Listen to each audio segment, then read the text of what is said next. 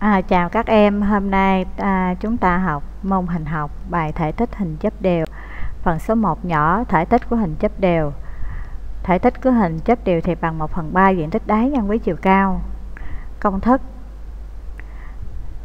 trong đó S là diện tích đáy còn H là chiều cao.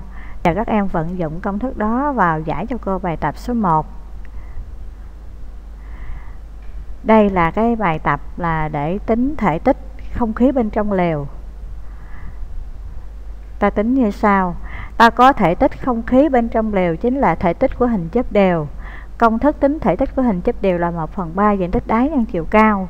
Thì chúng ta thấy là đáy của hình chấp đều sẽ là 2, 2 mét.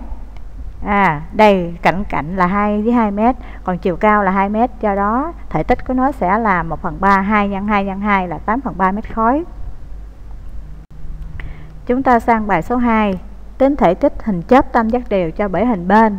Biết đường cao AO là 16,2cm Còn cạnh là BC bằng 8cm Cho biết căn mặt 2 của 48 gần bằng 6,93 Bây giờ cái hình à, diện tích Cái hình là chớp tam giác đều ABCD thì cái đáy là B, BCD là hình tam giác đều thì ta biết được là BD bằng BD sẽ bằng BC bằng DC là bằng 8 cm.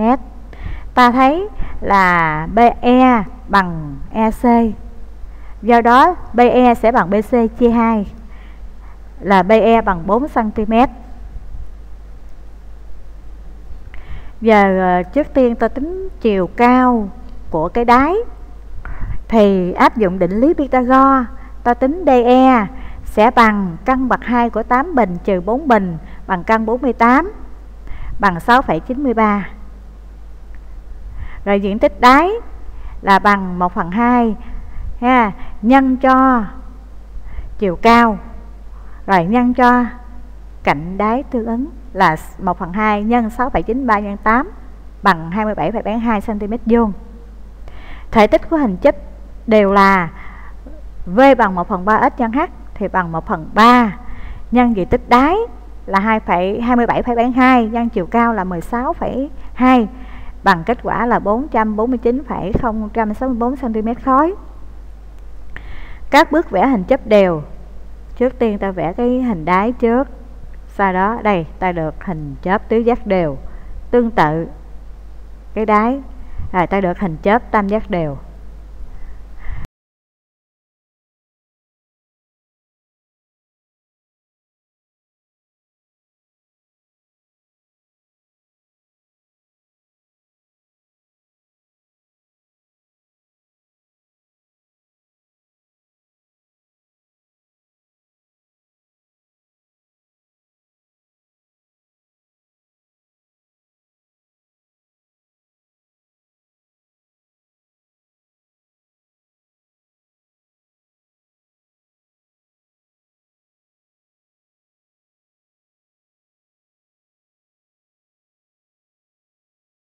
À, bài tập trắc nghiệm.